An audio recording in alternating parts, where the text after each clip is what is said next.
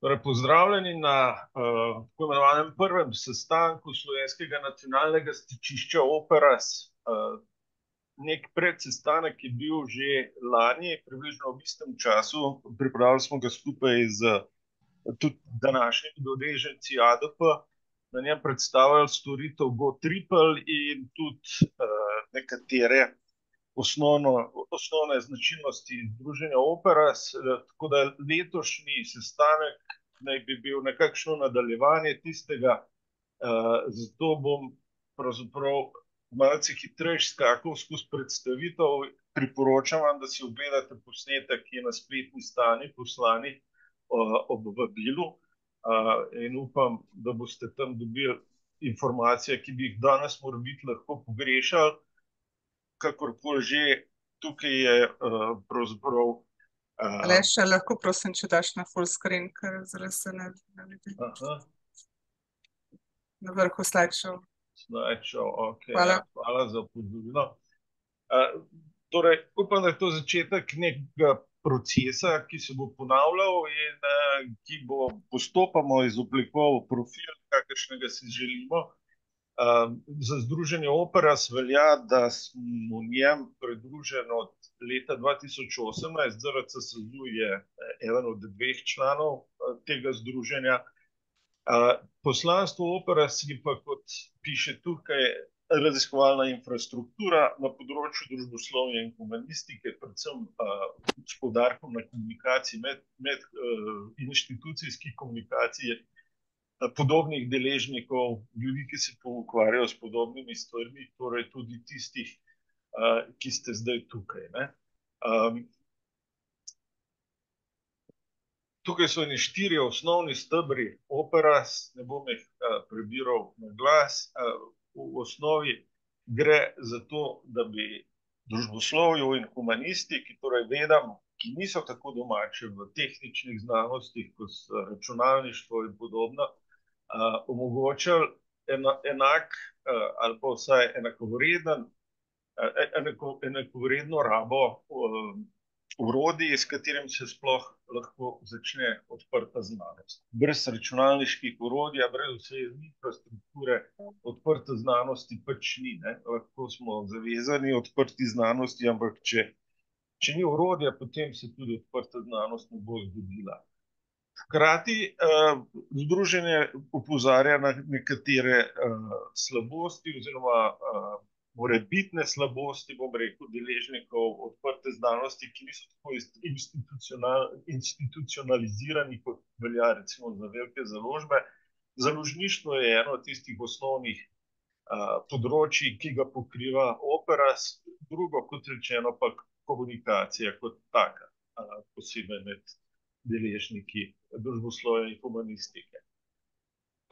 Uh, 2017 je bil prvi projekt takrat se je osnovala skupnost, ta je potem prešla razne faze, uh, med katerimi velja izpostaviti leto 20 in ustanovitev javne neprofitne družbe v Belgiji, uh, ki je potem se naslednje leto uvrstila na roadmap ESPRI, Uh, projekt Operas Plus, znotraj katerega tole uh, poteka, je namenjen vzpostavitvi uh, Operas kot trajne evropske infrastrukture, torej neke mednarodne organizacije, ki bi združevala nacionalne predstavnike, nacionalne akterje iz več držav, tako evropskih, kot tudi neevropskih. V preteklem letu se je tej družini Operas pravzaprav začelo pridruževati več uh, deležnikov odprte znanosti, založništva. Zemljevid, ki ga vidite, uh, nima vseh 65 članov, nima vseh 24 držav. Uh, ene od pridruženih članov so tudi iz Avstralije in Kanade, odpirajo se tudi uh, članstva drugim državam, zadnja mislim, da je na listi Mačarska. Uh, pristopila pred kratkim, je tudi Španija, recimo pa Finska je bila ena med zadnjimi. Tako da uh, opera se v zadnjem letu ali dveh, pravzaprav, um, kar hitro širi, nekateri pravijo, celo prehitro. ker je to težko nadzorovati.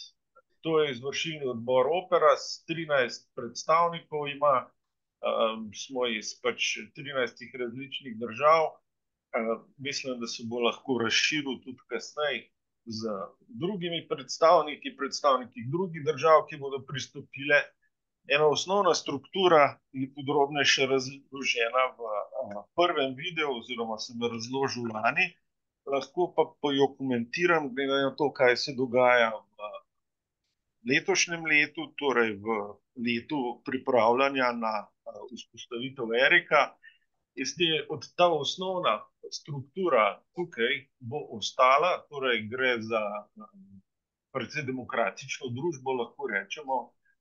Na osnovi je tako imenovana generalna skupščina, ki jo sestavljajo predstavniki članov. Zdaj, če se bo ta stvar razvila, ko se bo razvila, se bo bo ostala na vrhu. Prav tako bo ostal neki znanstveni svetovalni organ, Scientific Advisory Committee. Potem tudi koordinacijska skupina bo ostala, prav tako Services and Technology Board, torej neka svetovalna tehnološka podpora, pa Assembly of the Commons, ki je pravzaprav najbolj odprta ustanova, v katero lahko pristopite tudi, ne da bi se včlanili v Operas kot posamezniki in sodelujete v kateri od tako imenovanih posebnih interesnih skupin, o katerih kaj več. V preoblikovanju po Eriku se preoblikovanje, ki naj bi sledilo Eriku, išče različne vzorce podobnih združenj, kot so Dariah ali Clarin. V ospredju bodo spet tudi National notes, to se pravi nacionalna vozlišča, potem tudi partnerji, tisti, ki niso udeleženi neposredno v raziskavah, neki strateški komite bo nadomestil Executive Assembly in profesionalna struktura naj bi skrbela za to, da bojo stvari gladko potekale tudi naprej. To so ustanove, s katerimi Operas že sodeluje, in verjetno prepoznate marsikateri logotip tukaj noter. Te skupine so razporejene v tej roži glede na pač interesne skupine, posebne interesne skupine, ki jih bom podrobneje predstavil, mogoče zato, predvsem zato da bi vas pritegnil in kot posameznike povabil, da se pridružite kateri od teh interesnih skupin. Interesne skupine se sestajajo enkrat na mesec praviloma, ampak v zadnjem času, ker se organizacijske spremembe dogajajo, mogoče so nekatere malce zastale. In pravzaprav iz mojega osebnega stališča lahko rečem, da je najbolj zanimiv način delovanja Operas, ker se tam izmenjujejo ideje, tam nastajajo pač neke osnovne smernice, tam si na tekočem pravzaprav o tem, kaj se dogaja. Prva od teh Special interest groups, SIG, je namenjena zagovoru odprte znanosti in posebej s poudarkom na družboslovju in humanistiki. Druga, najboljšim načinom rabe, sprejemajo neka priporočila, kako delovati, recimo na področju založništva ali drugih področjih.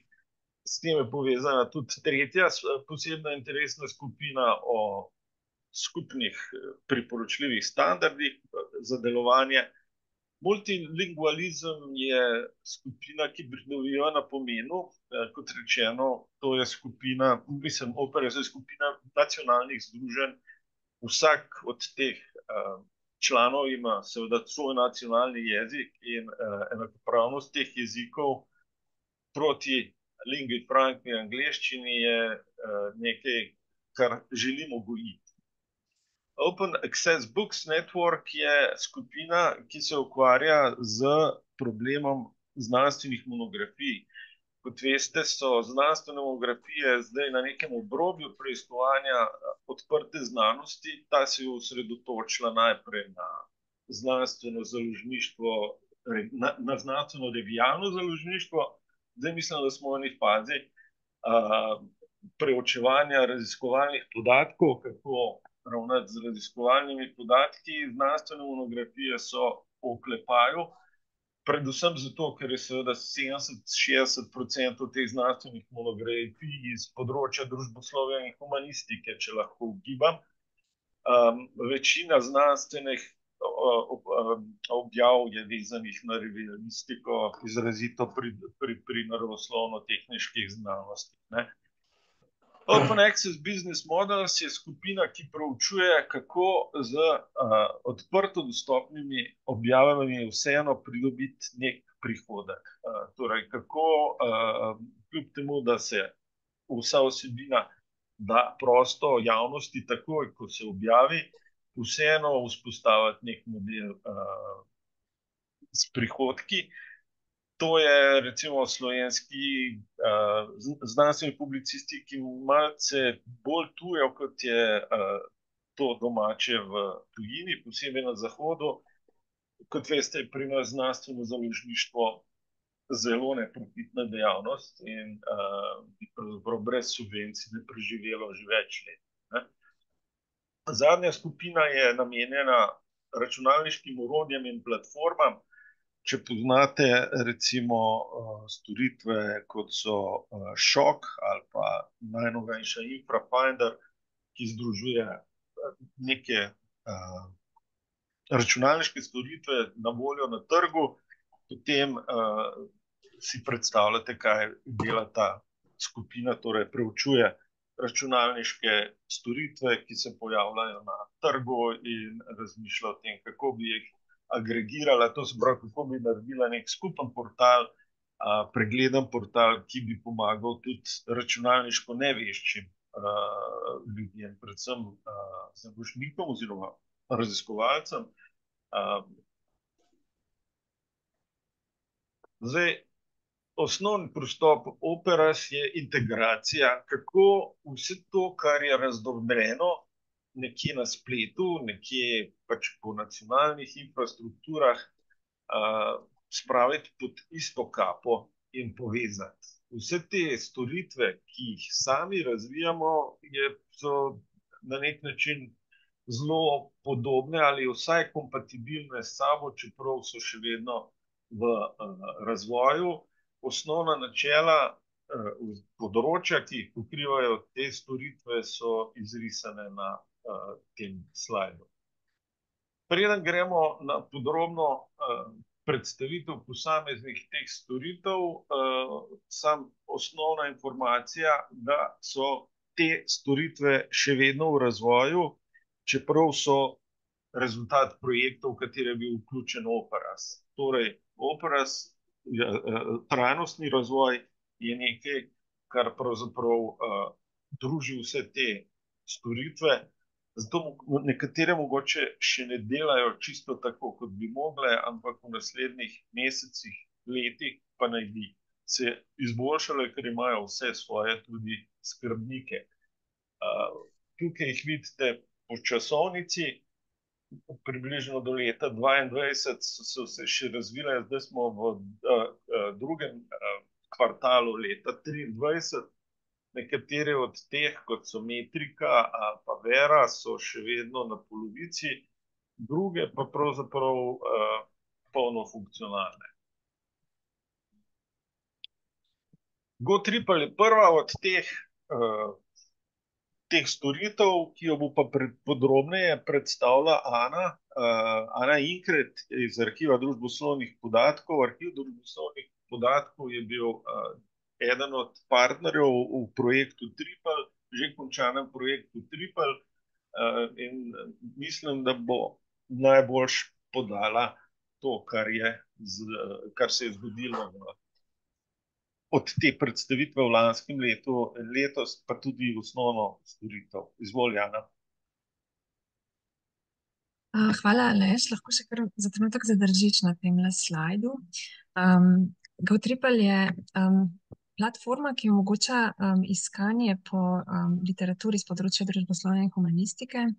Narejena je pa v bistvu za podporo, večjezičnosti v evropskem raziskovalnem prostoru in pa za čim lažje povezovanje raziskovalcev um, in iskanje projektov in deljenje oziroma ja, dostopanje do raziskovalnih rezultatov.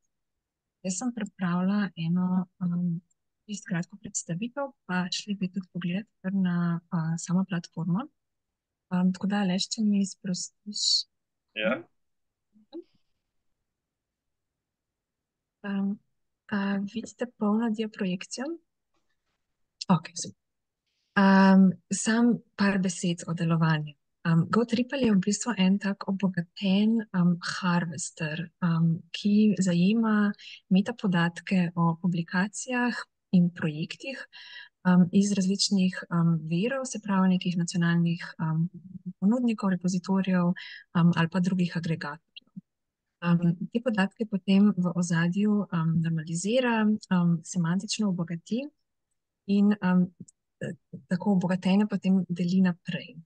Um, zdaj ta um, obogatitev, se pravi, um, slovenščina je, nekak, je na nek način vključena v triple, um, v GoTripple, ampak ta obogatitev nam zmanjka. Ne? Tako da um, stanje um, literature bo še vedno naj, najbolj bogato, um, um, če iščemo v angliščini.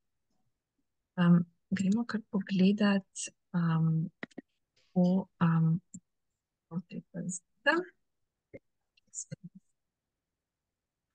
na začetni stran. Um, in danes sem si že pogledala, da je um, ključna beseda refleksij, še poročila. Se pravi, zdaj sem upravila iskanje in dobila nekih 26 tisoč rezultatov, ki jih je mogoče zdaj opredeliti na različna raziskovalna področja. Vidimo, da je največ rezultatov še vedno v angleščini, ampak še vedno 2000 v francoščini, do katerih bi sicer verjetno težko dostopali, 2000 v nemščini. In pogledamo za slovenščino, nekaj 130 um, v slovenščini. Kar dobro, moj kar dober rezultat. No? Um, lahko si pogledamo tudi vrste, um, se pravi, večina tega gradiva um, je dostopna v odprtem dostopu, ampak vseeno si lahko pogledamo, um, ali je tukaj za nas kakšna razlika. Ja, je to jo bomo omaknili. Um, in tale tukaj vidimo tudi nek um, pregled um, objave, ki pa se mi zdi, okay. um, ja, pač kaže v bistvu nekaj najpogostejše. Um, ena, aha, um, pokazala bi še projekte. Um, to je zdaj v bistvu harvester evropskih projektov um, se pravi, pač ponudnik um, teh podatkov Evropska komisija in da nam v bistvu zelo dober pregled um, um, projektov povezanih s temi temami. Zdaj enega pogledamo, um, imamo tukaj več podatkov, opis um, in lahko si to na posameznem nivoju projekta naredimo um, zemljevid znanja. Se, ampak da ima si to reči pogled na um, rezultatih um, objave. Naredila bomo gled znanja, kar bo zdaj um, tale zemljevid znanja, kar bo nekaj časa trajalo. Bom vmes pripravila še string graph. Medtem, ko se to nalaga, pa si mogoče lahko gremo pogledati en nivo publikacije. Ok, mogoče še pritska. Um,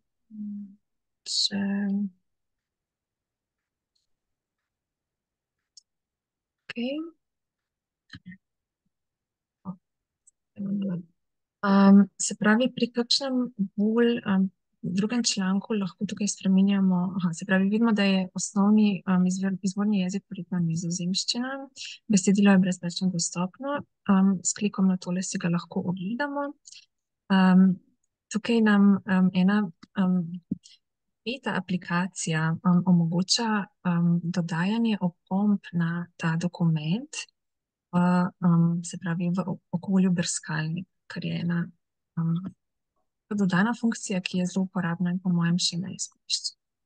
Potem pa spet povezave na druge avtorje. Um, ena, se pravi, tale. Um, Bili dve vizualizaciji rezultatov, sta po mojem um, zelo zanimiv, zanimiva prednost GoTrip s kakšnimi drugimi jeziki. Um, se pravi, Knowledge Map um, razporedi, izbere sto nekih najbolj pomembnih dokumentov na to ključno besedo, ki smo jo iskali, in jih razporedi glede na um, besede v člankih, avtorje, neke ponavljajoče se um, besede v besedilu, glede na um, ime. Um, se pravi, tukaj je recimo um, poznal neko tehniko, napravo vezano temu. Um, In tu so zdaj te članki, ki spadajo noter, in mi lahko iz um, tega potem spet dostopamo do um, polnega besedila, lahko pa si naredimo, um, skranimo to iskanje za kakšno. Razporejamo na različne. Gremo čez string graph, um, ki pa v bistvu prikaže zdaj neke najpomembnejše teme iz, um, zdaj tukaj gre za nekih spet najpomembnejših um, dokumentov, pač tukaj jih je. Te številke se zelo spremenjajo, glede na vsebino. In v bistvu kaže, kako se neke teme, um, kako prehajajo v obravnavo in kako postajajo aktualne v literaturi časa. Um, tukaj vidimo, da v bistvu je recimo leta 2021 bilo um, veliko člankov na, na temo pač beguncev, um, migranska, se pravi, emigranska, begunska kriza, ne, se pa pojavi nekje kot nek pomembnejša tema šele. Spet nam pač omogoča posamezna, um, omogoča neko filtriranje vsebine. Um, jaz mislim, da to na hitro um, s tem le pregledom, samo pač povem, da um, GoTripel omogoča še um, nekaj drugih možnosti uporabe. Aha, no, to sem hotel. Smiselno. Se pravi, eden od namenov platforme je tudi um, lažje povezovanje med um, raziskovalci samimi. Če pojčemo Suzanne, um, to je vodja projekta, za katero pač vem, da ima narejen profil. A ne zdaj tukaj dokumente, kjer je ona mogoče avtorica, ampak zanima nas v bistvu tole, ne, osebe. Um, na GoTriplu si lahko vsak od nas naredi svoj osebni profil in ga izpo, pač izpolni po svojih željah in doda tale um, tag, da je odprto sodelovanje. Zdaj, ko, imamo, ko smo enkrat prijavljeni s svojim uporabniškim profilom, um, lahko te osebe, ki so odprte za sodelovanje, tudi kontaktiramo preko enega um, orodja, um, enega foruma, ki poteka v zadju. Um, tako da se lahko tudi pač samo drugim um, povežemo svoje dokumente. Um, se pravi, te dokumente, ki jih tripa najde, um, lahko v bistvu označimo za svoje. Um, namen je v bistvu omogočati um, lažje so, sodelovanje in povezovanje. Um, okay, um, Se pravi, za uporabniškim profilom um, imamo lahko tudi um, dobimo prilagojena priporočila, seveda moramo čim več uporabljati to um, platformo, da dobimo res relevantna. Um, in pa ena od teh pridruženih storitev je tudi um, ena platforma za množično financiranje raziskovalnih projektov. Um, se pravi, da, sam da povzamem, da pač GoTripple omogoča um, je in iskalnik po raziskovalnih rezultatih v večjezičnem okolju, um, in omogoča lažje povezovanje in sodelovanje um, med raziskovalci na področju humanistike. Na hitro, um, ali še že omenil, da smo lani izvedeli eno um, predstavitveno delavnico, tako da to gradivo je še vedno pač na voljo in relevantno. Um, smo pa tako ali kot mi vada, pa na voljo za več informacij. Um, pa priporočam v uporabo in preizkus. Ja, uh, hvala, Ana. Zdaj bi pa kar nadaljeval z, z orodjem, ki ga je pomagal razvijati tudi ADP. Gre za orodje Vera. Mogoče preden dam besedo uh, Ireni. GoTripal in Vera sta že na voljo tudi v slovenščini. Irena, izvoli. Uh, ja, hvala, Aleš. Uh, zdaj, uh, tukaj, tukaj dodajam, da, da uh, Nažalost, ADP ni bil polno vključen v, v, v razvoj vere kot take, ampak jaz smo pa sodelovali tudi s kolegi preko projekta, ki so tukaj delovali. Kar v bistvu želimo izpostaviti, da vera orodje je namenjeno predvsem za sodelovanje in, in delo projekti, ki so bolj na smeri občanske znanosti. Tako da to je neka, neka posebnost. Operas je, je spremljal, uh, kaj se na tem dogaja, in uh, neka izkušnja je bila, da uh, na področju sodelovanja med občanskimi znan znanstveniki in družboslovjem in humanistiko je, uh, uh, ni bilo vseh stvari zdaj najbolje razvitih, in uh, v tej luči se je potem razvijala ta platforma uh, vera kot taka, ki uh, neke te elemente omogoča. Jaz bi zdaj v bistvu, da se seznanimo z, z urodjem, um, Aleša prosila, da nam um, spusti en, en video, pa bom jaz tukaj čez video to komentirala, potem pa vam tudi v živo pokazala, nažalost pa nimam samo odprtih toh, um, projektov zadnji, da bi se vse te komponente prikazale, tako da zaradi tega v bistvu um, bi, bi tale video uh, no, se pogledali. No. Um, Ja. Video je na YouTubu tudi uh, dostopen. Uh, pa bomo potem tudi dali v, v zapis, um, kot tako. Ima tudi sicer zvočno podlago, ampak uh, tukaj smo se nekako odločili uh, za takle prikaz.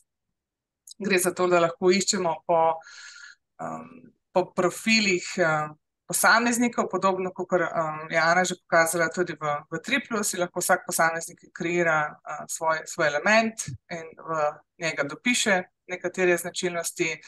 Uh, lahko pa seveda iščemo tudi po različnih uh, projektih, uh, ki so tukaj noter dodani v samo platformo. Um, In uh, v sami platformi je tukaj nekaj elementov, ki so vezani na različne uh, type financiranja, med drugim tudi to množično financiranje kot ena od možnosti, uh, se pa v bistvu stvari tudi sproti še dodajajo. Um, kot je Aleš sam rekel, se pač v bistvu stvari res um, razvijajo. Uh, jaz vas vse vabim, zlasti tiste, ki bi želeli sodelovati z občanskimi znanstveniki, da si v bistvu kreirate sam profil. Uh, ta profil, z razliko od eh, profila drugih raziskovanj, uh, raziskovalnih platform, ni vezan na, na AI kot tak, ampak bomo tudi pogledali no, vsi naprej. Skratka, lahko naredimo profil, lahko kreiramo projekt, ta kre, projekt lahko povežemo v različne ekipe, ne, se pravi, posamezniki, ki imajo tukaj kreirane profile, jih lahko potem dodamo in imamo neko skupnost, uh, znotraj te skupnosti lahko potem uh, seveda sodelujemo um, in vidimo, da imamo lahko tudi različne, težko se vidi, no, pa vam bom potem pokazala še, ampak seveda lahko uh, imamo tudi različne vloge vseh posameznikov, ki jih vključimo v to skupnost, ne, kateri so lahko menedžeri, drugi bojo pač stvari samo pregledovali. Um, sama platforma je oblikovana tudi na tak način, da poveže različna um, orodja, um, tukaj pač nekaj orodij je, je predlaganih, takih najpogostejših, ki jih um, pač uh, posamezniki tudi uporabljamo, uh, in, uh, in se lahko pač dodajo in uporabljajo neposredno preko, uh, preko samega orodja, ni treba potem izven aplikacije za, za določene elemente. Um, aplikacija omogoča tudi, tudi neko dnevniško uh, možnost, da lahko pač vi ali pa kdorkoli drug, ki je v skupini, dnevno um, ali pa bolj pogosto pač beležite neke elemente, kaj se je recimo dogajalo, kaj se nam dogaja na, na projektu. Um, in te stvari se lahko seveda tudi potem um, javno objavi preko nekih uh, portalov. Um, potem pa seveda imamo prek uh, podobnega profila, kot je v Triplu, mogoče tudi uh, sporočilni sistem, da lahko uh, preko, preko tega uh, aplikacije, v bistvu tudi potem posameznikom, ki so del te moje skupnosti, uh, jih obveščam in komuniciram z njimi. Um, tukaj vidite, imate tudi nek element uh, financiranja uh, kot takega in lahko pač pogledate različne možnosti financerjev uh, z tega področja. Um, Vera je integrirana v portal GoTriple in pa je v Citizen Science, tako da se lahko um, prek tega tudi stvari objavijo, um, kaj, kaj, kaj imamo, kaj mi delamo in so v bistvu tukaj kot take vidne.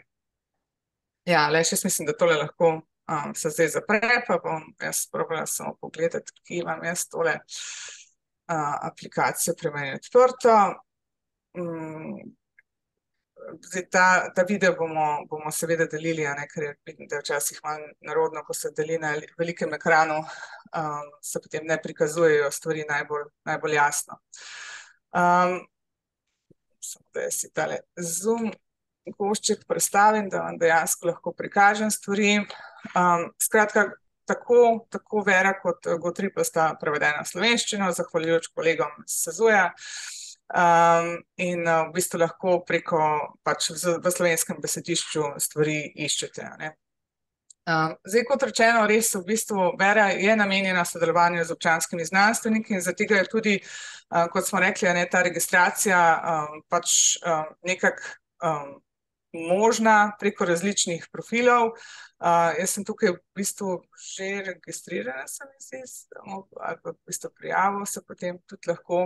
Ampak kaj želim dodati, da se v bistvu lahko um, prijavite oziroma registrirate preko različnih um, elementov uh, in običajno je to um, Google account, v bistvu ima potem tudi možnosti registracije preko Orhida in pa EGI profila. Ne? Tako da ni, ne potrebujete imeti raziskovalnega profila za to, da se lahko registrirate. Ne? To je ena posebnosti aplikacij, ker veliko krat se zahteva raziskovalni profil in potem je to takoj problema, ne? kada želite sodelovati z raziskovalci, z občanskimi raziskovalci, ki teh profilov nimajo. Ne? Tako da tukaj se lahko posameznik registrira uh, res uh, z uh, Googlovim um, računom in lahko pač uh, si dodaja elemente. In to, kar smo rekli, lahko si uh, tukaj dodaja različne elemente samega profila. Uh, pogleda si lahko različne projekte. Nažalost, kot sem rekel, tukaj nisem zdaj aktivna sodelujoča, tako da tukaj ne moramo prav, prav veliko nekih elementov pri, pri meni pogledati. Seveda pa lahko potem brskam po projektih, kadar me nek projekt zanima ne, in se v bistvu v njem že nekaj dogaja. Tukaj so objavljeni, mislim, da je v samem projektu QEZA bilo deset pilotov različnih občanskih znanstvenih projektov in so seveda tukaj objavljeni in lahko pogledate, kakšna je tema projekta, kakšno je bilo financiranje.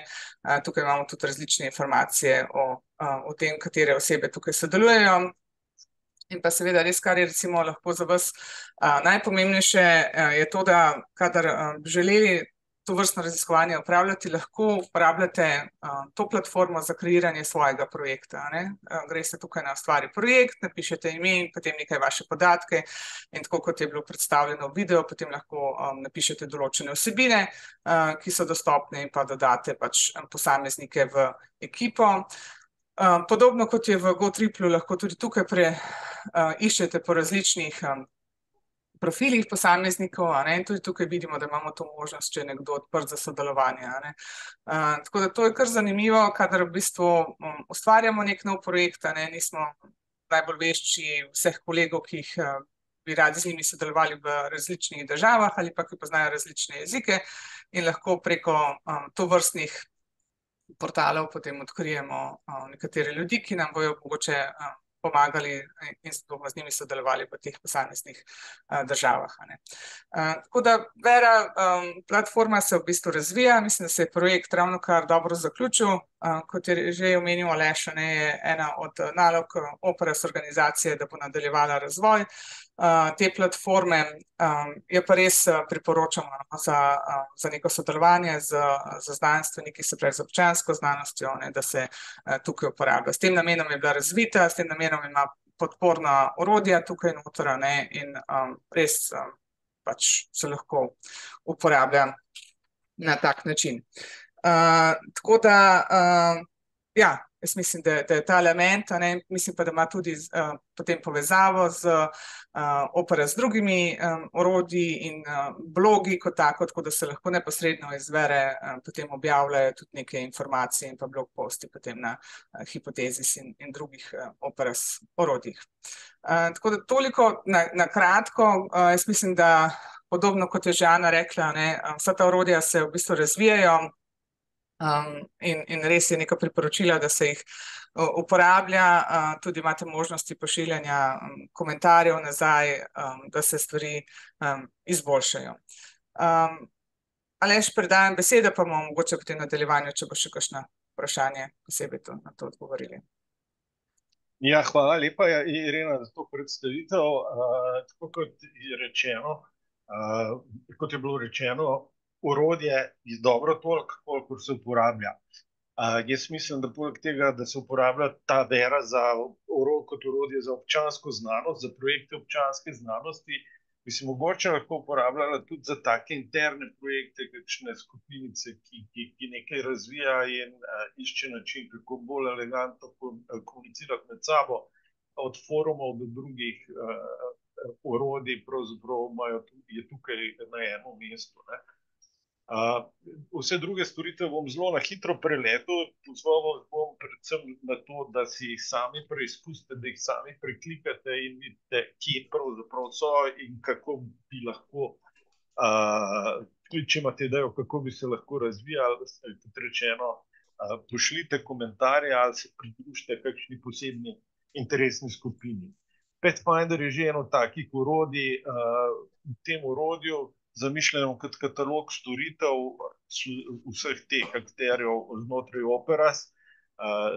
Je, so zbrana urodja, tudi ta, ki jih zdaj naštevamo, kasneje pa ne bi prerasel v neko z umetno inteligenco podprto urodje, ki bi pomagalo ti rešiti problem, poiskati računalniško storitev, ki, ki jo potrebuješ za en konkreten problem zdaj so to postavili gor, spletišče je delujoče, napolnjeno, mislim, da tudi s kakšnimi 30 urodji, in kakor mi je znano, zdaj to pospešeno polnijo tudi z drugimi urodji, za katere so že zbrali podatke.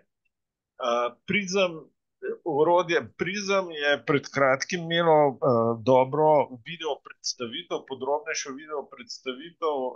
Vabim vas na spletno stran DOA, DOAP. Orodje naj bi ponujalo metapodatke oziroma način zapisovanja metapodatkov za znanstvene monografije, kar, ki so povezani z recenzentskim postopkom, torej strokovnimi pregledi.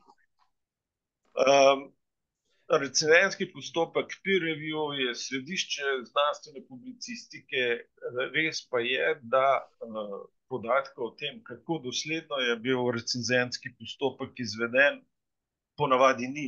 Ponavadi ga najdete zgolj v fusnoti ali pa v sporočilu tistega, kar je povedal založnik. Kaj pa se to odšlo?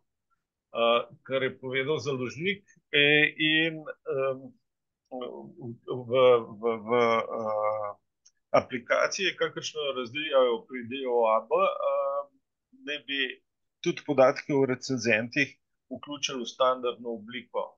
Trenutno jih že lahko dodate, tudi imena recenzentov, recimo, podatek, ki ni prav pogost, posebej pri tuji publicistiki, pač pa zelo pogost pri naših znanstvenih monografijah, ne. Veliko oziroma vsaj začetek mogoče je tudi tega, da bodo tudi recenzenti deležni nekega priznanja za to delo, ki ga opravljajo, in je sila pomembno. Metrika je eno orodje, ki še ni pravzaprav čisto razvito, je pa ideja ta, da gre preko različnih platform, tudi Google Books, od Google Booksa do Facebooka in tako naprej, in išče sledi posameznih monografij. Torej ponuditi neko številčno vrednotenje za, ali pa citate za iz, iz več različnih virov, ki jih normalna orodja, veliki indeksi, predvsem kot so Scopus in Web of Science, zaradi različnih razlogov ne pokrivajo. Hypothesis je najstarejša storitev in tudi najbolj razvita, OpenEdition jo je spravil v pogon, to je pravzaprav, kjer lahko, s katerim lahko odprete znanstveni blog. Vsi ostale orodja naj bi pa postala posledica, rezultat projektov, med katerimi so pravzaprav v središču te tri. Vsi so se začeli, kot vidite, že pred letom oziroma dvema, in uh, njihov namen je pravzaprav uh, v kratkem izdelati priporočila ali izboljšave za tako imenovano institucijsko objavljanje, publicistiko, ki nastaja znotraj kakšne ustanove, z majhnimi sredstvi in z majhnim številčnim kadrom, torej za tip znanstvene publicistike, ki ga dobro poznamo tudi pri nas v Sloveniji. Palomera je projekt, ki se bo najprej končal, konec je let, konec ga bo decembra letos, oktobra bo zaključna konferenca projekta Palomera potekala v Ljubljani na ZRC SAZU, ki je eden od partnerjev tega projekta. Osrednja pridobitev tega projekta pa je pravzaprav študija krajine znanstvenih monografij po Evropah. Več kot 40 državah se je pregledovalo, kakšne politike odprtega dostopa imajo, kako obravnavajo znanstvene monografije in rezultati, si lahko mislite, so zelo zanimivi. Rezultat končni bo nek knowledge, knowledge base, v kateri bodo zbrane politike, povezane z objavami odprtimi dostopu pri znanstvenih monografijah. In se bo pač tudi polnila še kasneje namen je po koncu projekta. Politike do odprtega dostopa v različnih državah so pač pomembne tudi za dva druga projekta, predvsem za projekt Dajamas, v katerega so bili mogoče vpleteni z reševanjem ankete zaradi revialne publicistike, mogoče prišla tudi do vas. Tudi tukaj v projektu Diamas je v ospredju tako imenovana landscape study, to se pravi študija revialne publicistike, znanstvene revialne publicistike v posameznih državah, izdelava priporočil, uredniških priporočil v prvi vrsti, kako in kaj naj vsebuje članek revialni, kako ga umestiti potem znotraj same revije, kaj mora revija imeti, izdelava nekih standardov za revialno publicistiko, to je temu pravijo extensible quality standard in institutional publishing, s kratico EQSIP, izroček glede tega je že objavljen na Zanodu in si ga lahko ogledate. Zrcalen projekt ali pa soroden projekt je pa projekt Kraft, pri tem sodeluje tudi ZRC SAZU.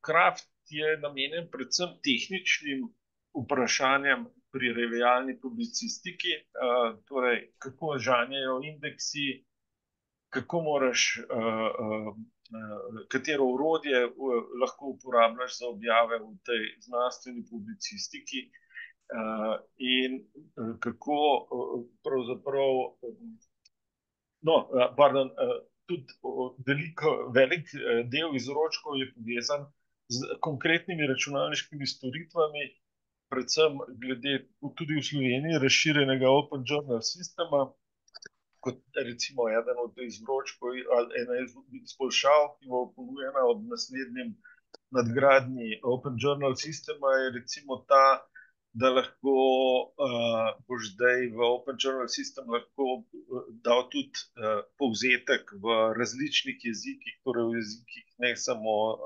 slovenski in angleškem, kakršna sta največja, najpogostejša jezika sistema za objavljanje, ampak tudi če je članek, ne vem, v slovaščini, potem bo povzetek lahko v slovaščini to jasno označen.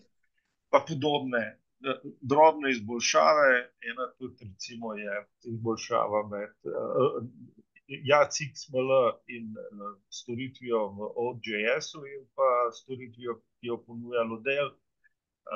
Prenos podatkov bo mogoče. Torej bolj tehničen projekt, ki bo se končal prihodnje leto in je pravzaprav še v zgodnejši fazi.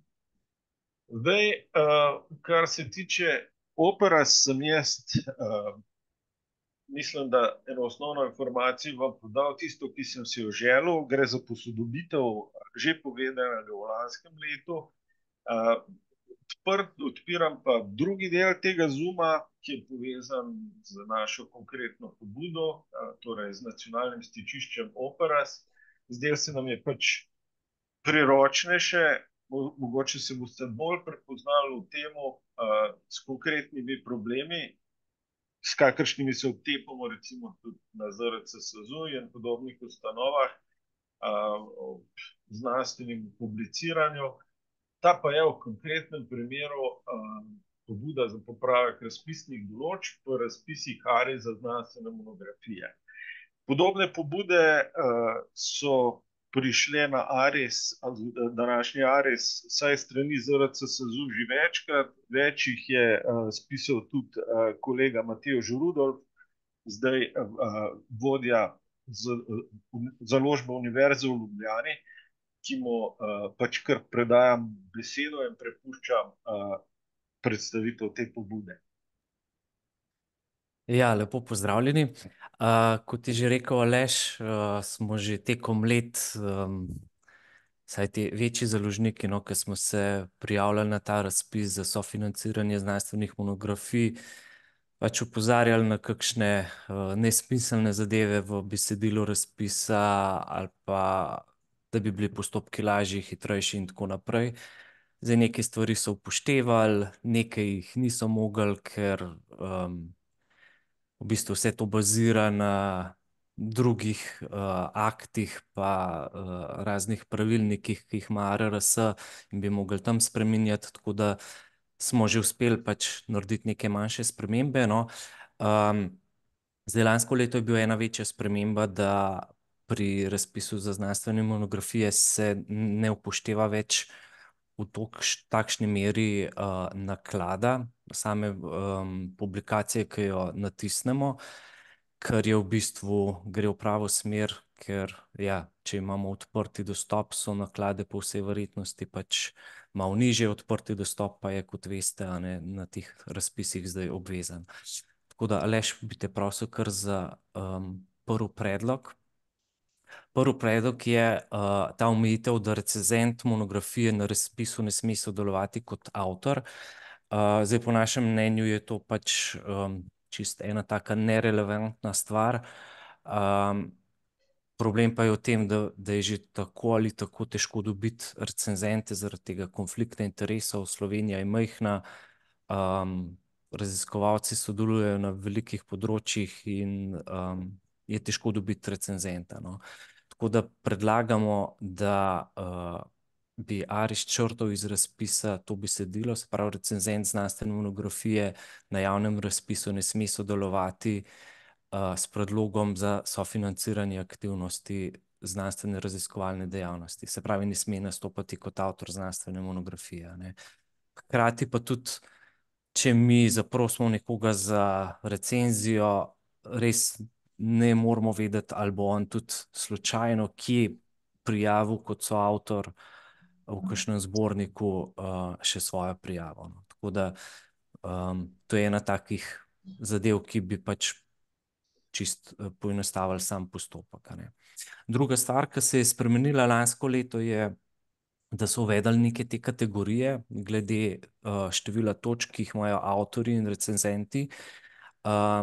Prej je bilo to dosti izenačeno, se pravi, štelo se je število točk avtorjev in recenzentov, zdaj se pač nekaj spremenilo in nastal je problem, no, v praksi smo videli, da če ima avtor, nižje število točk, se pravi, ta te točke a ena v Sicrisu, dobi zelo nizko subvencijo, ne, se pravi tudi petdeset procentov, razpoložljive subvencije in se dogaja, da dobiš na razpisu po petsto, šeststo evrov, kar dejansko ne moreš s tem sofinancirati, te knjige. Tako da v luči tega, da bi tudi mladi avtorji, znanstveni raziskovalci, imeli pač večjo možnost, predlagamo, a ne, da bi ustavili, da bi naredili dve kategoriji, se pravi, tisti najmočnejši avtorji bi dobili sto procentov, druga kategorija pa recimo osemdeset procentov, ne. S tem bi še vedno ohranili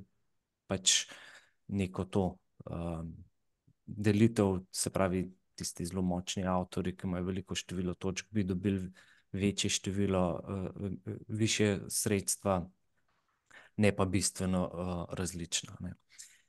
In pa še tretja točka, to bo pa tudi Aleš, mislim, da še kasneje povedal.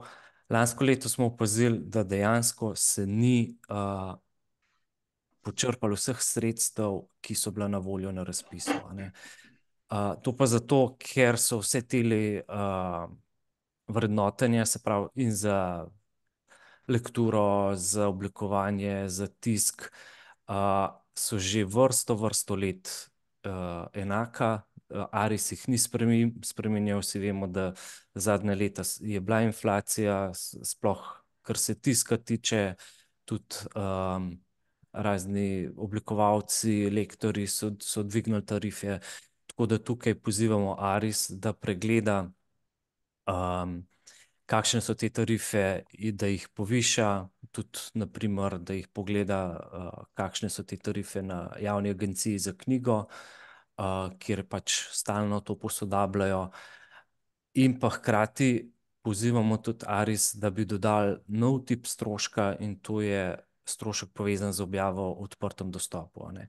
Aris zahteva, če dobimo mi subvencijo, da je pač knjiga v odprtem dostopu, odprti dostop pa ima tudi stroške, se pravi, je treba financirati infrastrukturo, kam bomo to dali, od strežnikov naprej do nekoga, ki bo vpisal vse te metapodatke, registriral številke, vnesel knjige, separate in tako naprej, tako da tukaj so kar neki stroški, ki jih pa zaenkrat Aris ne financira, no. Tako da to so ti tri glavni predlogi, ki jih mi predlagamo na Aris za razpis za sofinanciranje znanstvenih monografij. Ja, hvala, Matevž, mi pomeni, poleg naju dveh tudi še Jure Perglav iz Znanstvene založbe Filozofske fakultete. če se s to pobudo strinjate, vas vabim, da se pridružite podpisnikom, potem bomo to pač poslali Arisu v duhu, v želji sodelovanja in v duhu tega, da pač ta razpis na splošno izboljšamo. ni nekaj, namreč razpis za znanstvene monografije, nekaj samoumevnega v vseh državah in glede tega smo pravzaprav na boljšem, je pa to povezano s tem vprašanjem, ki sem ga sestavil tukaj, in s temi tremi slidi za zaključek današnjega Zooma. torej, kaj naj počne Slovensko gledališče Opera, sem se spraševal tudi sam. in prišel do zaključka, da se bo ta stvar izoblikovala po, potem ko se bodo izoblikovali tudi problemi, kot je ta, kakršnega smo zdajle predstavili, torej povezana z razpisom znanstvene monografije, ne. Ker to, to, to je preglednica razpisov znanstvene monografije Arisa v zadnjih enajstih letih. Iz tega lahko vidite, da tak padec pri podelitvi sredstev, dodeljenih, razlika med razpisno vsoto pa dodeljenimi subvencijami, da tega še ni bilo v tem obdobju. torej nekaj se je zgodilo, kar je moteče, ne. In v vseh prejšnjih letih, naj spomnim, je razpisna vsota bila podeljena v celoti, včasih celo s faktorjem, torej z nižjo tarifo, kot je bila, kot, kot je bila možna, saj je bilo razpisnih predlogov več, tudi po številu subvencioniranih naslovov se stvari, kot vidite, niso bistveno spreminjale. to je pa rezultat. Posledica ene od raziskav znotraj projekta Palomera, ki ugotavlja tudi kvantiteto objav v znanstveni publicistiki, predvsem v odprtem dostopu. Nastala je na osnovi podatkov, ki sem jih pridobil iz Cobisa, in trend pravzaprav je zelo jasen. V Sloveniji znanstvenih monografij objavljamo manj v zadnjih dvanajstih letih, in pravzaprav v trendu, ki je v, v, v, ne bom rekel, zelo strmem padcu, ampak vseeno v padcu, ki je verjetno večji od padca druge ali pa nasplošno. To je pa druga graf, zadnji graf, s katerim bom zaključil to predstavitev, uh, prikazuje pa, koliko država pravzaprav vlaga v uh, znanstveno publicistiko v Sloveniji, če ga poenostavim. Uh, modra črta je seštevek vsot za subvencije znanstvenih revij in poljudno znanstvenih revij, pa znanstvenih monografij. Rdeči stolpci so pa vsota, ki jo Slovenija namen uh, nakupom tuje znanstvene literature, ki je dostopna prek računalnikov. In ta razlika se mi zdi zelo frapantna. Uh, ne le, da črta za slovenske subvencije ne sledi inflaciji, uh, tudi večkratna razlika je nastala v primerjavi z nakupom tuje literature. Te, zelene, uh, te rumene kapice, ki so nastale po letu 2018, ko je uh, Slovenija pristopila tudi na črto S, namenjamo temu, da se objave pri tujih založnikih racionalizirajo, zmanjšajo stroškovno. Ne, kažejo, da se pravzaprav stvari vsaj do leta 2022 še niso izboljšale. Nažalost, nimam podatka za leto 2023, koliko je bilo namenjeno takrat nakupom tuje podatkov, tujim podatkovnih baz. Uh, je pa bilo samo za zlati odprti dostop, torej za povrnitev stroškov uh, objave v odprtem zlatem uh, dostopu, pri katerem tujih založnikov skoraj 700 tisoč to je precej več, kot bo recimo ta razpis za znanstvene monografije, o katerem smo govorili. Da, jaz mislim, da kakšnih tem um, nam ne bo zmanjkalo, ampak da bi pač z neko prizadevali, si bomo, ne, vsaj v sklopu tega, kar je domena ZRC SAZU, torej vzpostaviti neko skupnost družboslovja in humanistike, predvsem na založniškem področju, da bomo take probleme izpostavljali in jih skušali v najboljši moči uh, pomagati rešiti.